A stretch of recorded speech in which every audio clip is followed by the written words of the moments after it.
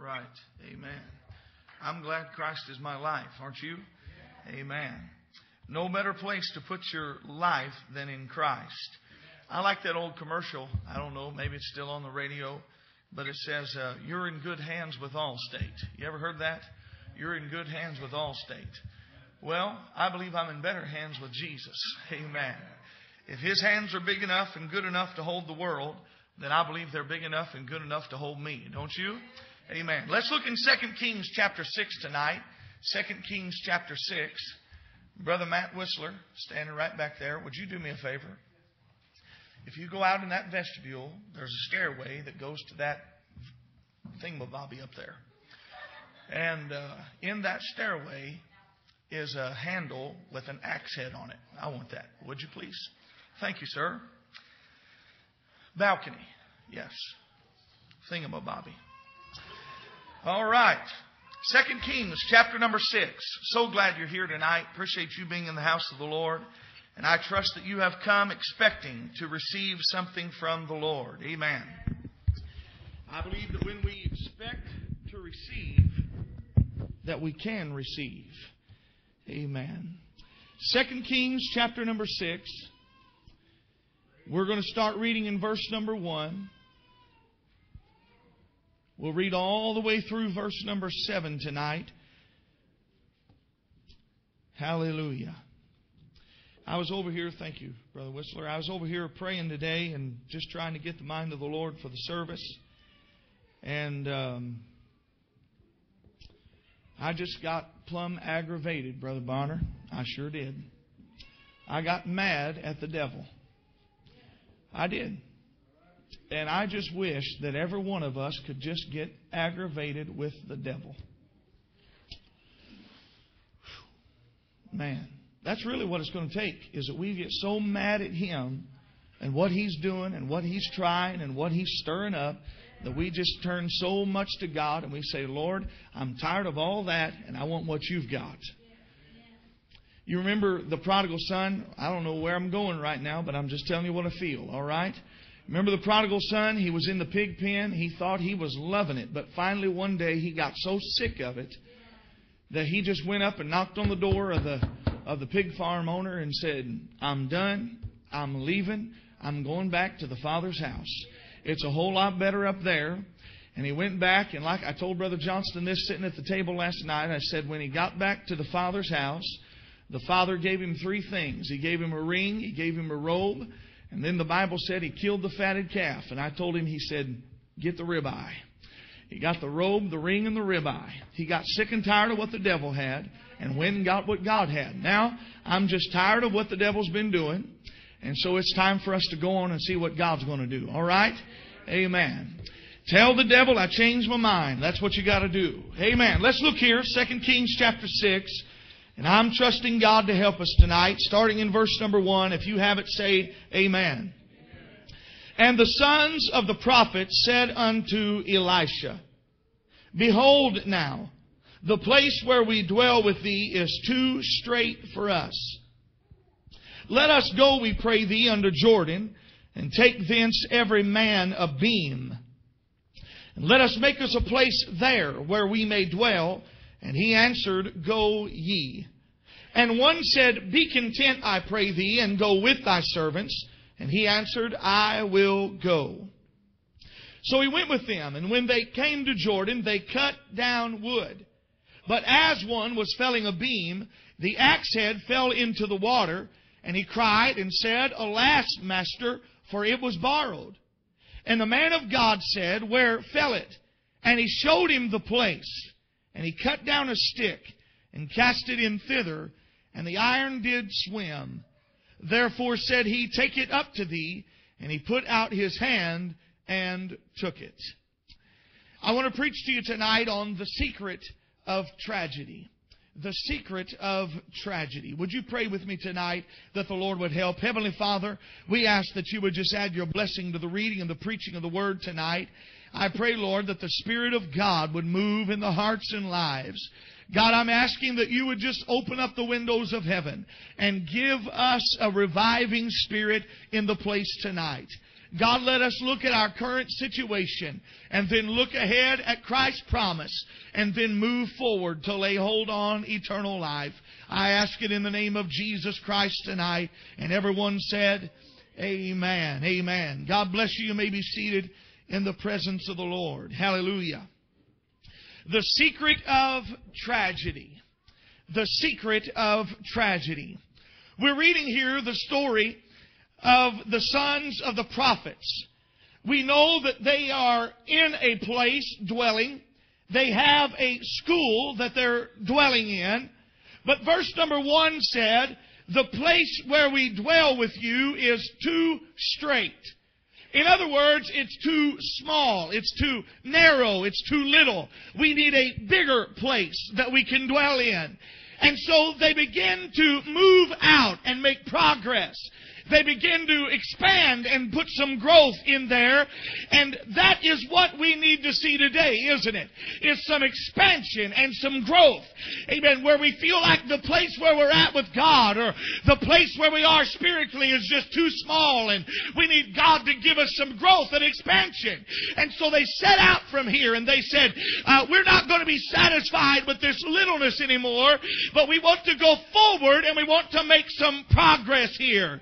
Amen. When they begin to work, there's one young man that he did not own his own axe.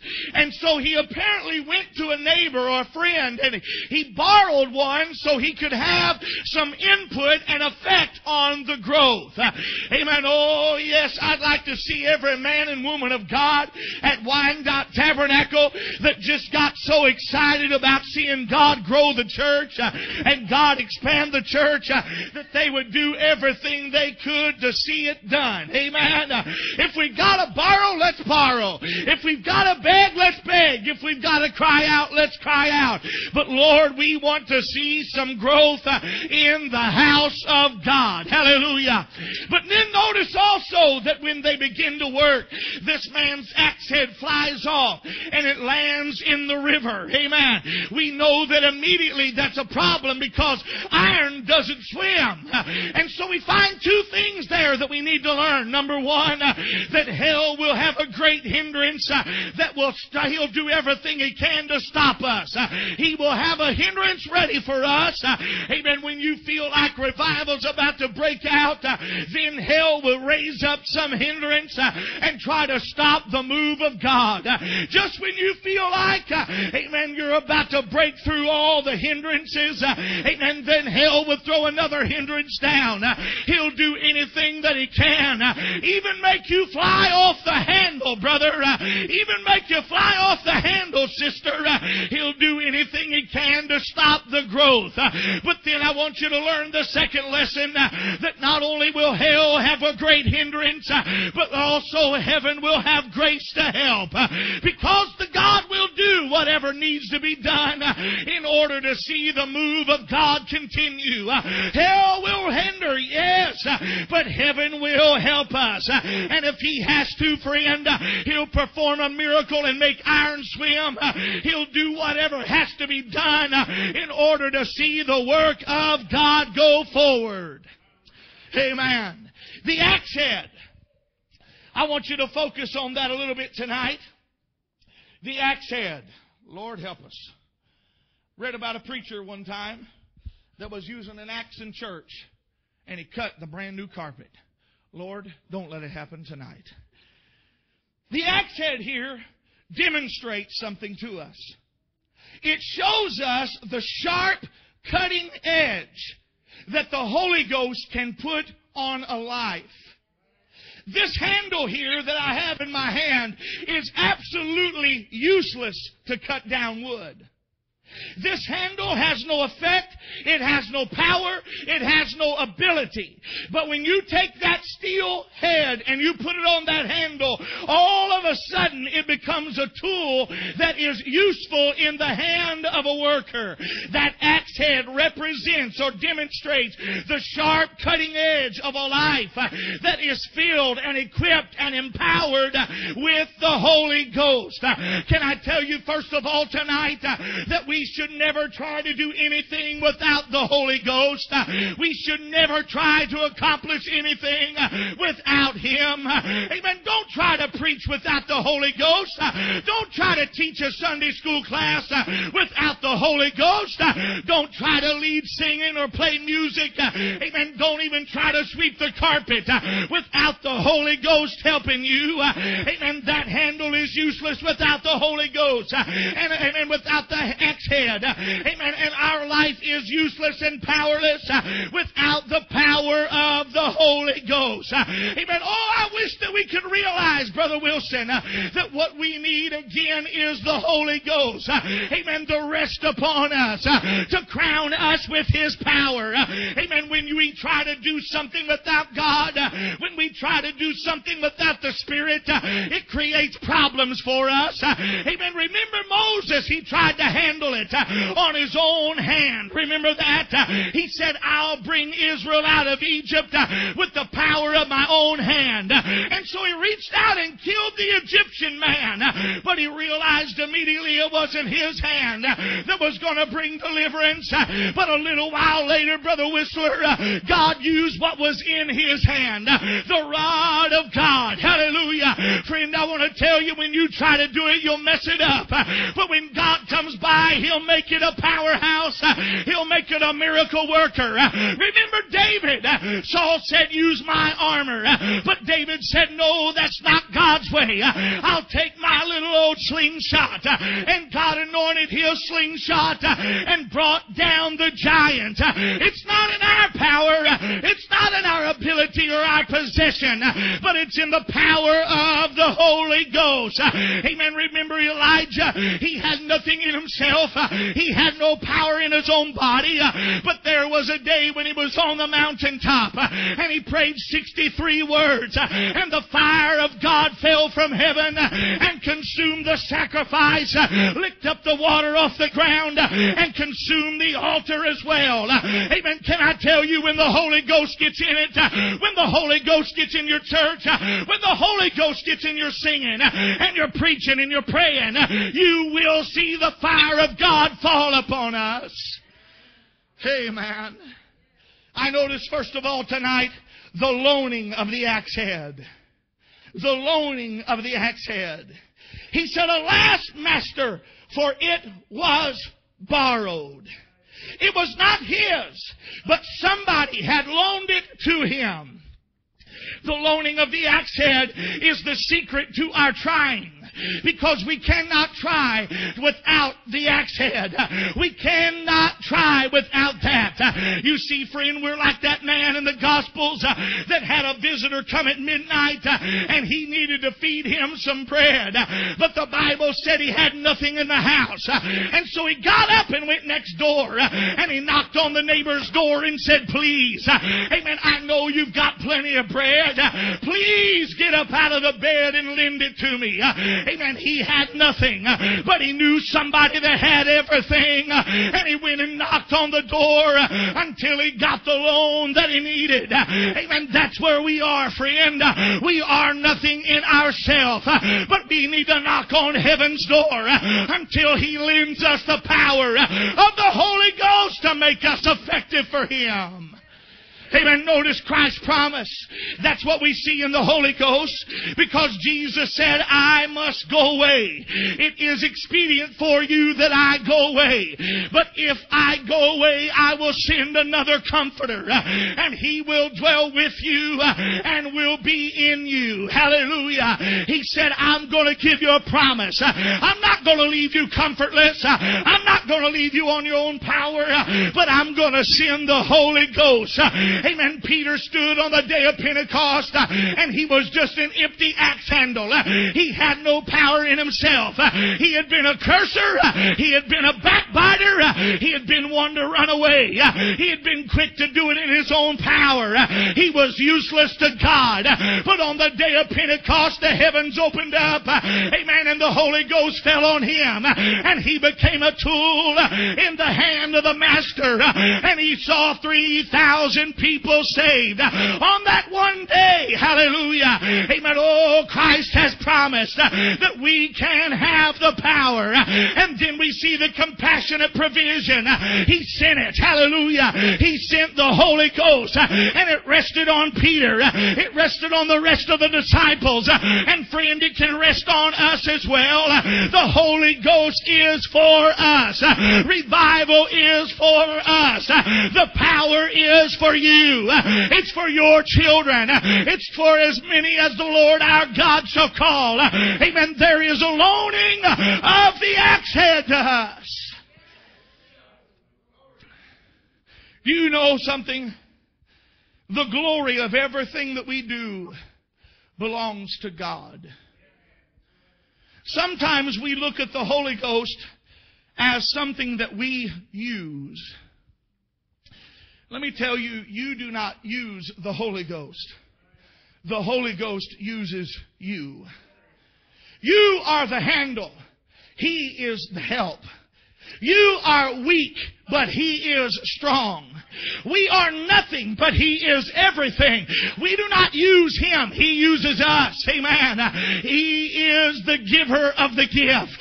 He gives it to us and then uses us. Amen. Can I tell you that when so many men have messed up is when they begin to use the gift instead of the gift use them. Amen. When you begin to think that you are it.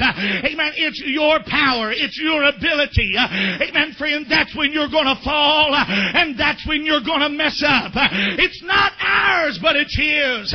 But He's loaned it to us. Amen. Oh, hallelujah to God. I know some people, Brother Bronner, they think when you loan them something, they have it now. It's become theirs. Your lawnmower sits in their garage and it becomes theirs. Amen. Your chainsaw sits in their shed and it becomes theirs. Your book sits on their shelf, glory to God, long enough and they think it becomes theirs. But I came to tell you tonight, Uh, amen, we may have it for a century, uh, but the Holy Ghost is never ours. Uh, we are still His. Amen. And as long as we keep that perspective right, He'll let us continue to borrow the power of the Holy Ghost. The loaning of the axe head. but I noticed something else. Look what happens.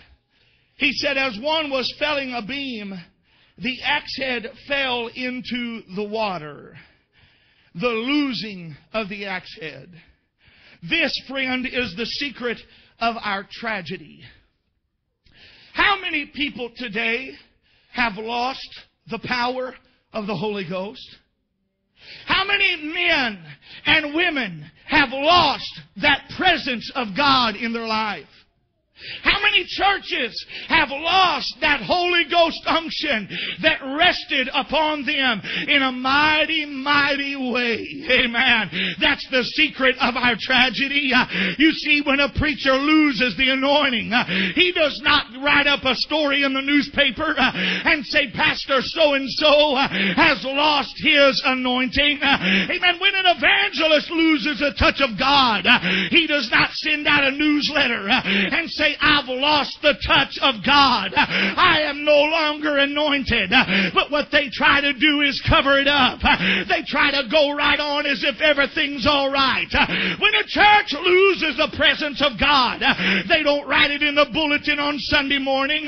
We now have no more move of God. Amen. They just try to cover it up. They try to hide it from everybody around them. They continue to act like everything's all right. Oh, but they They've lost the axe head. What a tragedy we see here. Amen. Too many have lost the axe head. They've lost the power to do something for God. Can I ask you tonight, friend, have you lost your ability to do something for God? Have you lost the Spirit of the Lord that used to burn in your heart? Amen. Have you lost it like the prophet said? Amen. He said it's like a fire shut up in my bones. Have you lost lost that fire? Have you lost that urgency? Have you lost that burning desire? Amen. Jesus said, The zeal of the Lord has eaten me up. Amen. Have we lost that kind of a zeal? Amen. Where it doesn't matter if we have revival or not. It doesn't matter if we have a move of God. It doesn't matter if we see souls saved. It doesn't matter if the Holy Ghost falls in the altar. Amen. We've lost the axe head. Oh, what a tragedy. Have we lost our power to see the captive set free? Have we lost our power to see miracles take place? Oh, God, help us tonight. Amen. I see the problem now. I see the problem now. I've wondered what it was. I'm swinging the axe handle, but the wood chips aren't flying. I've been swinging it away, but I'm seeing no effect anymore. I don't know what the problem is. The problem is that there's been a tragedy. You've lost the power of the Holy Ghost in your life. Oh, God help us. I'm afraid that too many have lost the axe head of the Spirit's unction by letting it fall into the waters of worldliness or into the swamps of sluggishness or in the river of relaxation or maybe they've lost it in the pond of pleasure. It does not matter where you lost it, Uh, but I'm afraid we've got too many in the house of God that have lost the Spirit of God in their life. What a tragedy. What a tragedy. You say it will never happen to me. My response to that is, it may already have happened. I see two things about this. Number one, I find diligence. Diligence. This young man is busily working. Who wants to swing a handle tonight? Hey man, I don't know if you've ever cut wood much. My dad heated with wood in the house. Five bedrooms, two stories, full basement. We heated the house with wood. That means that it took a lot of wood. So there was a lot of axe swinging, a lot of sledgehammer swinging, and a lot of chainsaw running. Amen. Lots of wood had to be cut. And so I remember very well what it's like. You must be diligent in your work. This young man was diligent. Notice it said as he was working, as he was felling a beam. He was not sitting idly by, but he was doing the work. He was swinging the handle. He was doing all that he knew to do. Amen. Oh, can I tell you, uh, you can lose your power uh, while you're busily working for God. You say, no, that's not possible. Oh, but it is. You see, you can be diligent in the work, but not take care of the axe handle and the axe head, and you can lose it. Amen. Yes, you can teach the Sunday school. Yes, you can preach the message. Yes, you can do the vacuuming and cleaning of the church. Yes, you can run the bus. You can work with the youth and still lose the power of God. We've got churches all across America today uh, that are busy doing something, uh, but they've lost that anointing uh, of the Holy Ghost in their ministry. Oh, God, help us. Help us to never get so busy that we forget to look in and check up on ourselves. Help us to never get so busy that we forget it's not ours, but it's yours, oh Lord. Hey, hey, hey, hey, Wyandotte Tabernacle. Can I tell you tonight, uh, it's time to do a checkup uh, and say, have I still uh, got the power of the Holy Ghost? Amen. Am I working and no wood chips flying? Or am I making an impact? Am I making a difference? Is there still a touch of the power in what I'm doing for God? Not only diligence, but notice also his negligence. For while he was working, the axe head flew off of the handle. If he would have been familiar with an axe, he would have known that you've got to take time to check up on it. Any of you have ever used an axe or a sledgehammer or anything like that, you understand what I'm about to tell you. Every once in a while, while you're working, you just take your tool, take the butt of the handle, and drop it on the floor or the ground. What it does is it tightens the head up so it will not fly off the handle if he would have remembered to do some checking up, he wouldn't have lost his power. Amen. Every once in a while, while you're working for God, listen here while I'm telling you. Every once in a while, you need to go back to the altar and you need to just do a little checking up. Lord, tighten it up on me, Lord. Tighten the Holy Ghost up on me. Lord, don't let me slip. Don't let me lose my grip on God. And don't let God lose his grip on me. Amen. Remember, oh Lord, in Hebrews chapter 2, he said, give the more earnest earnest heed uh, to the things which we have heard, uh, lest we let them slip. Uh, amen. Oh, I don't want to let it slip. I want to keep the power of God. I want to keep the anointing. I want to keep the Holy Ghost. Remember Samson? He was busy doing stuff, but he lost the power of God. If he would have stopped and checked up, he wouldn't have lost it. Amen. Remember Saul the king? He lost the anointing anointing of God. Yes, he was busy, but he lost it all because he didn't check up on his soul every once in a while. I read the story of a Greenland ice vessel. It was out in the ice, designed for it, made for it. They were out trying to kill a whale. But as they were in the ocean, the ice got so tight around them, they couldn't move anymore. So they laid to until the morning. When the morning sun began to rise, they looked out across the pieces of ice and they saw another vessel. They began to cry out to it. They began to signal to it, but there was no response. So finally, the captain of the whaling vessel, the ice vessel, he got with a few men and put into a little boat, and they picked their way through the ice floes and made their way all the way up to the side of the other boat. Uh, they begin to cry out, "Ship ahoy!" Amen. Anybody there? They begin to cry, but then they realized that though the boat was still uh, floating, uh, amen, that the crew was dead on the boat. Amen. They went aboard and began to examine it. They found a man that had died frozen to the ropes. They found another man, apparently the captain, that was sitting at his desk with his pen in his hand and his record book open as if he had been writing. Amen. Oh, yes, they were busy doing something, but they did not notice it got so cold and it got so dangerous that they lost out with their life. Amen. That's how it is with us, friend. We can get so busy for God God uh, that we forget to go to God. Uh, we can get so busy in the work uh, that we forget about God. Amen. Everything might look all right.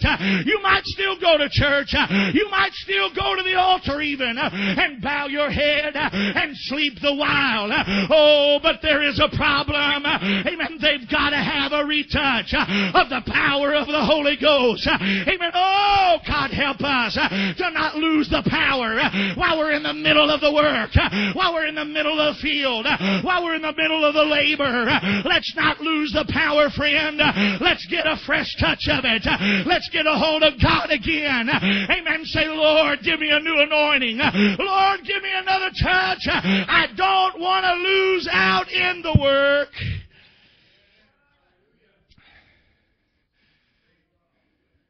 Brother Whistler, Brother Matt Whistler, one of the tragedies that I see is that there are people that have lost the touch of God and they don't even know it. Remember Samson? Samson thought he was all right, even though he knew he was in the wrong place. He knew he was with the wrong people, and he knew he was playing the wrong game but he thought he was all right. And the morning came when Samson was cried to awakeness.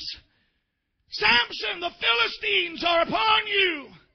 And the Bible said he arose and shook himself as he had at times past. And he wist not that the Spirit of God had left him. Oh, what a tragedy it is that some people are still going through the motion. They're still swinging the handle. They wonder why they don't have an effect. They wonder why the work's not getting done. But the whole time they're swinging an empty handle. They've lost the power of God. Oh, I'm reminded of Sardis in Revelation chapter 3. He said, You have a name that you live but you are dead. Amen. Oh, I wish the Holy Ghost would prick our hearts tonight uh, to examine ourselves uh, and make sure we've got the power of God on us. Look here, third thing I want to show you. It gets a little better now because notice what happens. And the man of God in verse 6 said, Where fell it? And he showed him the place. And he cut down a stick and cast it in thither, and the iron did swim. Therefore said he, Take it up to thee, and he put out his hand and took it. We see that it's been loaned, but now it's been lost. But notice now there is a locating of the axe head. Notice the first thing he did, he expressed his need. He said, Oh, Master. Who'd he cry to? The Master. He didn't cry out to the men around him. He didn't know they could help him.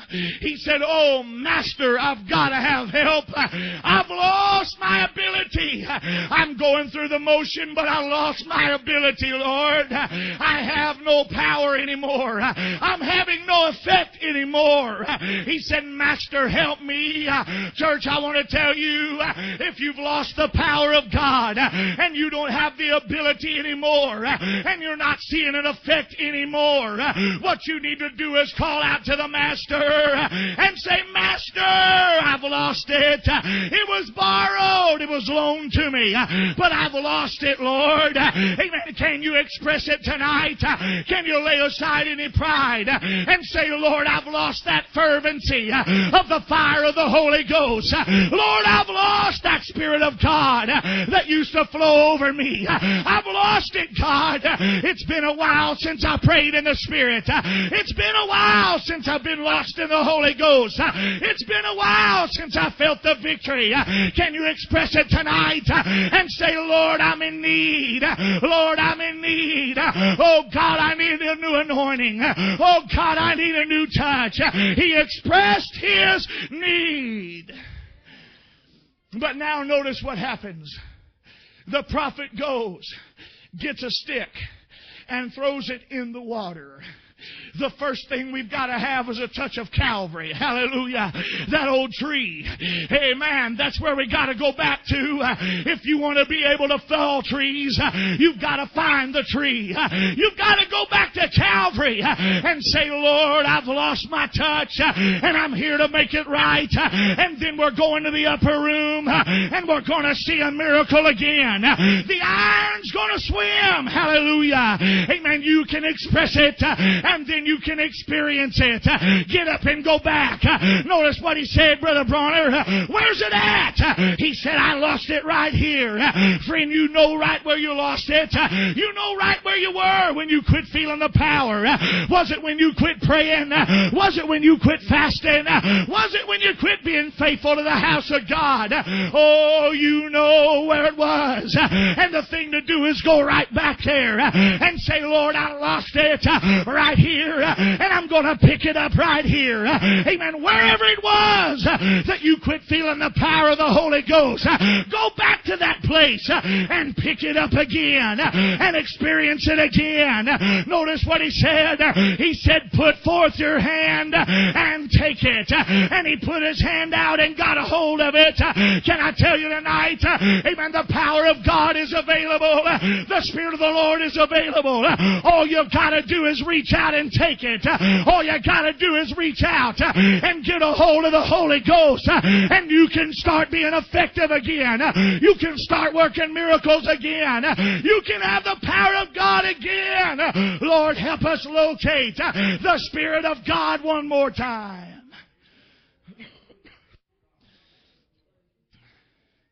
I'm going to close right here.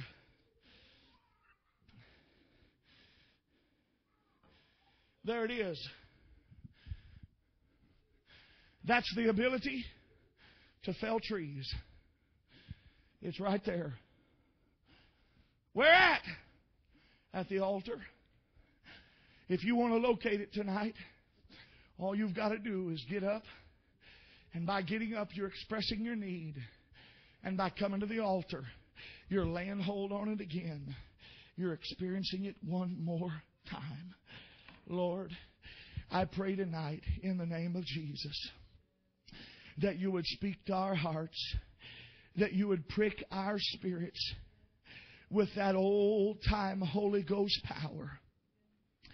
Lord, if there's one among us that has lost the touch of the Holy Ghost, they're not as close to you as they used to be. They're not experiencing the power like they used to. Lord, right here in the middle of a time of revival, right here in the middle of a time when we can see growth take place in the house of God, Lord, some have lost the Spirit. Hell has tried to hinder. But Lord, I pray tonight that you would let the axe head swim again. That you would let it float by us again. That we can reach forth our hand and lay hold on it. Lord, maybe there's a preacher or a teacher or a worker for God that's lost that unction, that fire, that desire. Lord, I pray that you would put it back on them. Lord, maybe there's a Christian here tonight that has lost that closeness, that fervency of the Spirit. Oh, God, that makes revival possible, that makes the church service easy, Lord. God, I pray tonight that you would stir us, that we would go back where we lost it, and we would experience it once again in the name of Jesus. Lord, I ask it. I'm pleading, Lord. I'm pleading, Lord. Oh, God, would you help somebody that needs a fresh touch in the name of Jesus? Would you stand with me, church, all across the building as reverently as you can? Heavenly Father, we're asking you to move right now in this altar service. The axe is here with all of its power and its ability. I wonder if there's somebody that's willing to step out and come to the altar. Maybe even in figure, you want to grab that axe and just hold it up to God and say, Lord, give me a fresh touch of your spirit, a fresh touch of your power. Give me a new anointing. Give me a revival. Give me the baptism of the Holy Ghost. But tonight you see your need. Why don't you come to the altar? Why don't you come to the altar?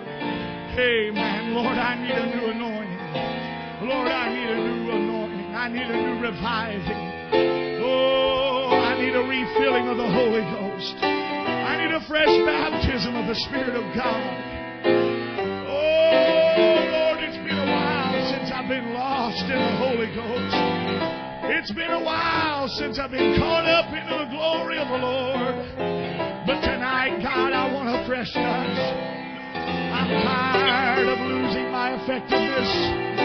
I'm tired of having no impact. I'm tired